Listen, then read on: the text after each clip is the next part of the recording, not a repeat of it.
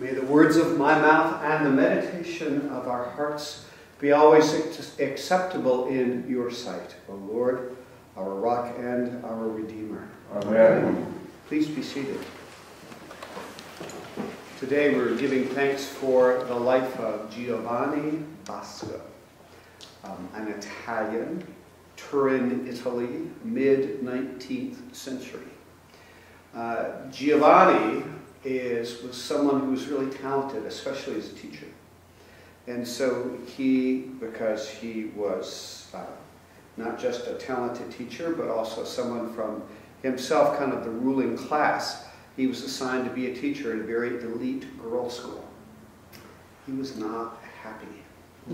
and he kept going out of the school and seeing all these kids on the street and knowing that they had no opportunity to get anything like the kind of education that he was giving to the young ladies who were a part of his class. And so he started starting these classes on the side and wound up actually raising up through them eventually a generation of ordained leaders, not from the upper classes, but really people who had been formerly street kids. It became an order called the Salesians, and they literally changed the face of the church. And the Italian leaders reluctantly acknowledged what it was that Giovanni Bosco was doing because he was not, in essence, doing what they had wanted him to do. But they could not deny the success of his ministry. I want to call Giovanni the patron saint of youth workers. Mm-hmm. I'm not sure that's true in an official sense, but it, it, it certainly makes sense to me. And so, in essence, what the readings are about has have everything to do with what I would describe as the ministry of teaching. In other words, teaching that really seeks to, as we said in the collect, um, remember we pray, cleanse the thoughts of our hearts by the inspiration of your Holy Spirit, that we may perfectly love you and worthily magnify your holy name. Teaching that worthily magnifies God and his work. And so it's, I ask the question, well, what does it mean to be a teacher like that? Well, it seems to me to be a teacher like that, the teacher's gifts are not merely the teacher's library, research, and the mastery of the subject, but someone who actually, so in that mastery, interacts with the subject in a way that actually changes the human life and the human heart, so that what comes out of the teacher is not merely the dissemination of facts, but a kind of heartfelt personal passion. He has disciplined himself to give himself entirely to the subject in a way that makes him no armchair teacher, but literally someone who has been transformed by the subject that he teaches. It seems to me that's the heart of the discipline that Paul lays out in Philippians when he says, Therefore, whatever is true, honorable, just, pure, pleasing, commendable, if there is any excellence, if there is anything worthy of praise, in the Greek, place your mind on these things. In other words, and it's an important discipline for us to think about because, of course, we live in a world where every single kind of knowledge in the world, good, bad, indifferent, wicked, and glorious, is literally all available at the touch of a keystroke. So, in the light of extraordinary options available to us at every turn, where are we in fact going to spend our time? Where are we going to park our brains? Well, it seems to me that if a part of what you desire, or I desire, is to be one who worthily magnifies God's holy name through what it is that I do, that I take on, in essence, a discipline that sets me free to spend the majority of my imagination on the very things that Paul commands. Imagination is powerful. And one of the things that makes a teacher really worth his or her salt is that what they do is imaginative. But to do that, imagination has to be harnessed. It, it can't be sort of all over the place like this.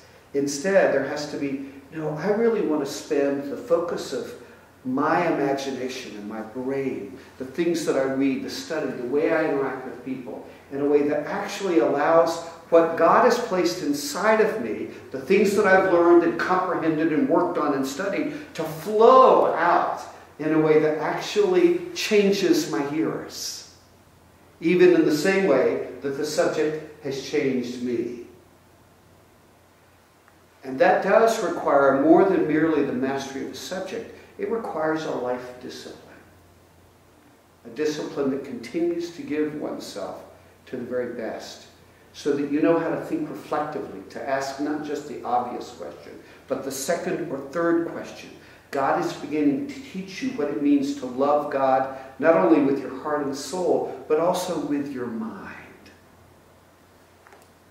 And that, it seems to me, is the fruit of living, in essence, within the boundaries of the thing that Paul commands in 1 Corinthians so that we, in fact, can be the kind of teachers, because the word really is teacher, the translation that Christy read, and it's right in terms of the NRSV. Therefore, every scribe, replace teacher, because that's what it means, who has been trained for the kingdom of heaven, is like a master of a household who brings out of his treasure what is new and what is old. In other words, the teacher in this sense, who has walked in this kind of life, has the capacity, both out of his library as well as out of his heart, to bring the very best of what it is that he can offer, whether he's quoting someone from the fourth century or today's edition of the paper, whether he talks about an experience that happened when he was six or something that happened just yesterday. In other words, there is a breadth and a depth, an historic depth of what he brings to the subject precisely because he has lived within the confines of God, I desire above all else that I live in such a way that somehow I worthily magnify your holy name. And that becomes the way you approach how you live, and especially in the mastery of that which you are given to teach. So, it is for that that we give thanks for Giovanni Bosco because given himself to that, how he could how could he not notice, you see, what the kids in the street were not getting? Because that's as much a part of God's heart as the very excellent instruction being provided for his well-to-do students. Because everyone matters in the kingdom. Mm-hmm. And so to see that is in some ways the very fruit of what it is that Paul describes working in Giovanni's life. In some ways, that is the proof that he is someone worthy of commendation and why these readings have been picked.